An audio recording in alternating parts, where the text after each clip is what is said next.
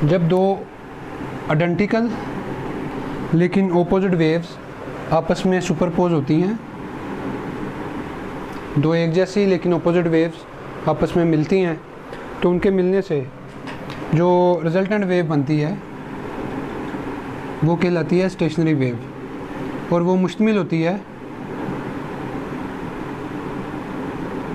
Nodes और antinodes पे।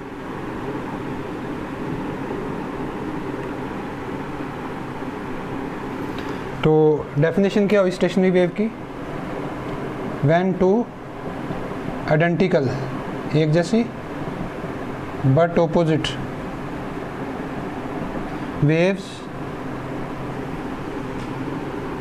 superpose each other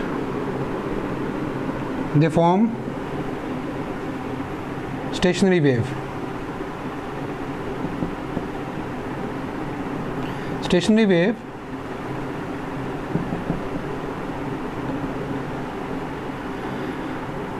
Consist upon and antinodes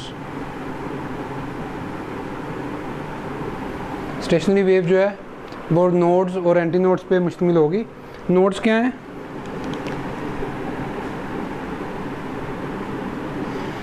stationary wave के वो पॉइंट्स जो परमानेंटली रेस्ट पे रहते हैं, जो वाइब्रेट नहीं करते, वो नोड्स कहलाते हैं। द पॉइंट्स या particles of stationary wave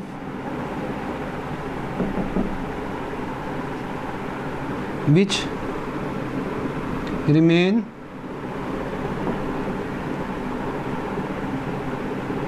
permanently at rest are called nodes in other words we can say that nodes have zero amplitude the second one are antinodes तो स्टूडेंट्स एंटीनोड्स वो points हैं जो maximum displacement पे vibration कर रहे हैं maximum amplitude पे vibration कर रहे हैं वो एंटीनोड कहलाएँगे तो एंटी नोड की डेफिनेशन होगी। द पॉइंट्स और particles of stationary wave that vibrate at maximum amplitude are called antinodes अब दो अपोजिट वेव्स आपस में मिली हैं और इनकी मिलने से, इनके सुपरपोज होने से जो वेव प्रोड्यूस हुई है दैट इज़ स्टेशनरी वेव और स्टेशनरी वेव में नोड्स वाले पॉइंट्स पे परमानेंटली डिस्ट्रक्टिव इंटरफेरेंस हो रही है और एंटी नोड्स पे परमानेंटली कंस्ट्रक्टिव इंटरफेरेंस हो रही है। इनकी टाइमिंग इनके टाइम का जो फ़ेज़ का इफ़ेक्ट है, वो इन जगहों पे कंस्ट्रक्टिव इफ़ेक्ट प्रोड्यूस कर रहा है और नोड्स वाली जगह पे डिस्ट्रक्टिव इफ़ेक्ट जो है वो प्रोड्यूस कर रहा है। अब हमने ये देखना है कि किसी भी स्टेशनरी वेव में वेवलेंथ कैसे निकलेगी? तो वेवलेंथ जो है स्टेशनरी वेव में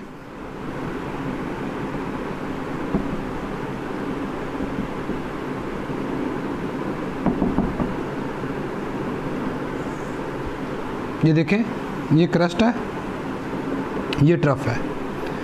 अब इस क्रस्ट और ट्रफ को रिफ्लेक्शन के बाद जो ट्रफ है वो क्रस्ट बन चुका है और जो क्रस्ट है वो ट्रफ बन चुका है। इसका मतलब है कि टू लूप्स ये वन लूप है। यहाँ से, यहाँ तक वन लूप है। टू लूप्स हैं ये। These two loops make one wave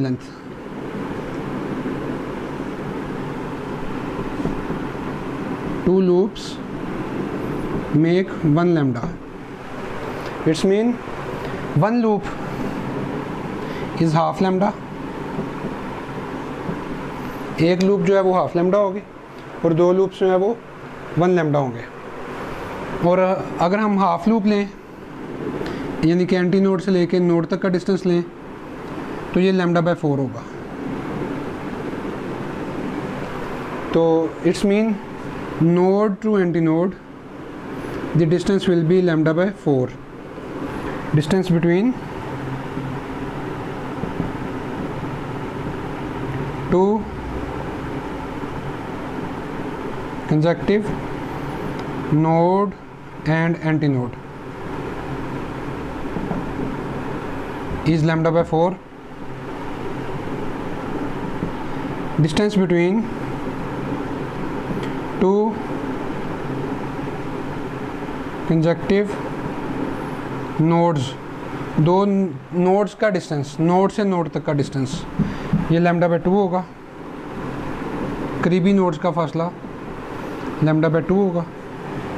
Similarly distance between two consecutive antinodes वो भी सेम होगा। लैम्डा बाय टू, नोड से नोड तक भी लैम्डा बाय टू है। एंटी नोड से एंटी नोड तक का डिस्टेंस भी लैम्डा बाय टू है। नोड से नोड तक भी lambda by two antinode से एंटी नोड तक भी lambda by two. And two loops make one lambda. दो मुकम्मल लूप्स हों तो एक लैम्डा होता है। तो ये स्टेशनरी वेव की बेसिक्स हैं। इसके बाद, stationary wave in stretch string ये हमने डिस्कस करना है।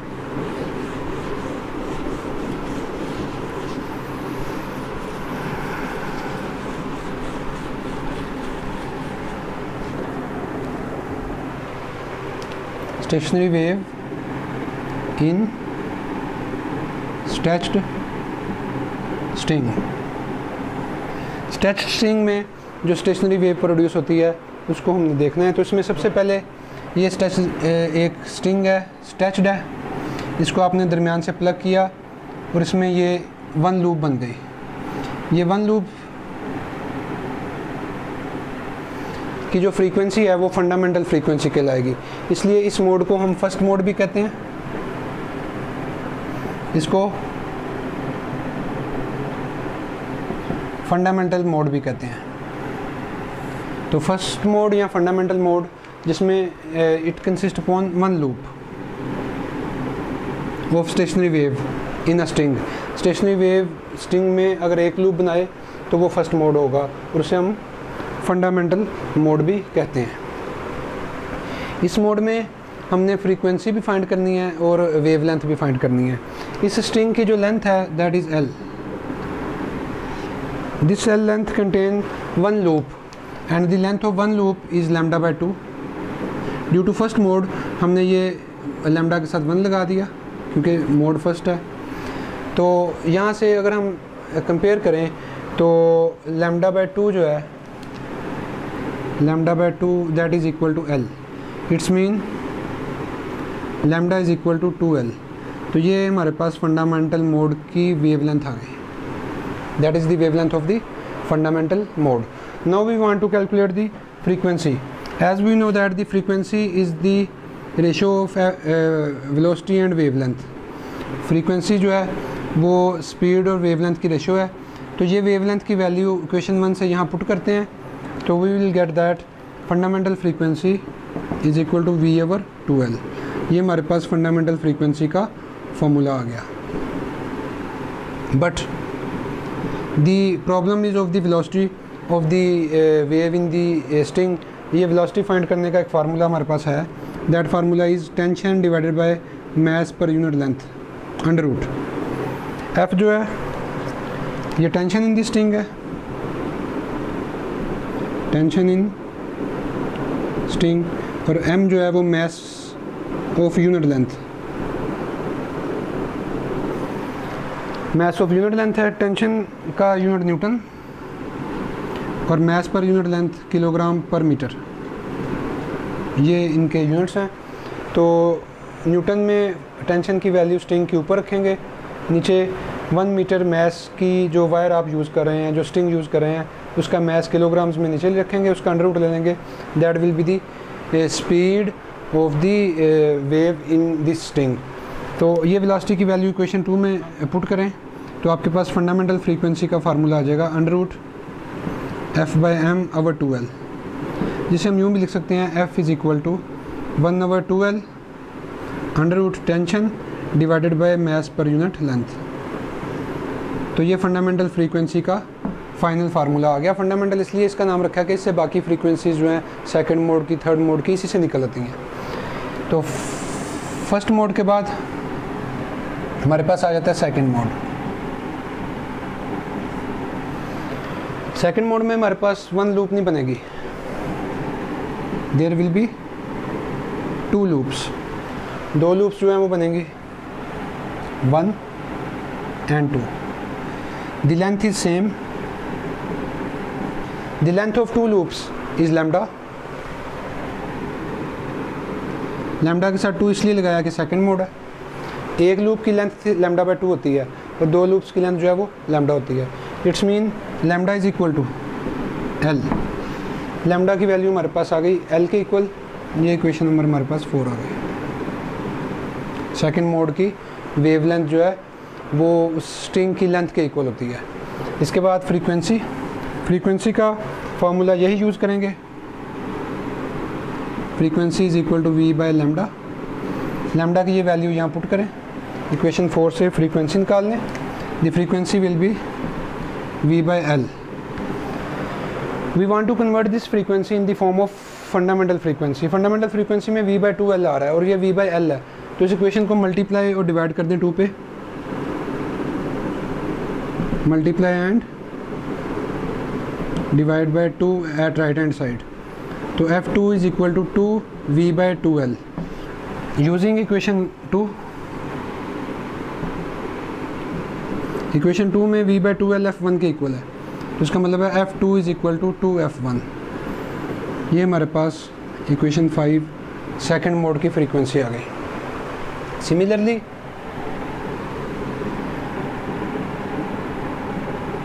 third mode of vibration देखें। It will consist upon three loops the string is same length is same lambda by two lambda by two and lambda by two एक loop की length lambda by two होती है। It's mean the total length is three lambda by two third mode है। Three lambda by two is equal to L यहाँ से lambda की हमारे पास वैल्यू आ जाएगी two L by three that is the third mode wave length now again we want to calculate the frequency of the third mode frequency is equal to lambda v by lambda lambda की ये value यहाँ put करें. तो we will get that F three is equal to v over two L by three ये three ऊपर आ जाएगा. Three v by two L v by two L की जो वैल्यू है इक्वेशन टू से, वो एफ़ वन के इक्वल है यूजिंग इक्वेशन टू तो we will get that three F one is equal to F three तो स्टूडेंट्स ये हमारे पास थर्ड मोड की फ्रीक्वेंसी आ गई। इसका मतलब है बेसिकली हमने फ़र्स्ट मोड की फ्रीक्वेंसी फाइंड करनी होती है। सेकंड मोड की फ्रीक्वेंसी डबल होगी फ़र्स्ट मोड से। और थर्ड मोड की फ्रीक्वेंसी ट्रिपल होगी फ़र्स्ट मोड से। अब जनरलाइज कर लेते हैं।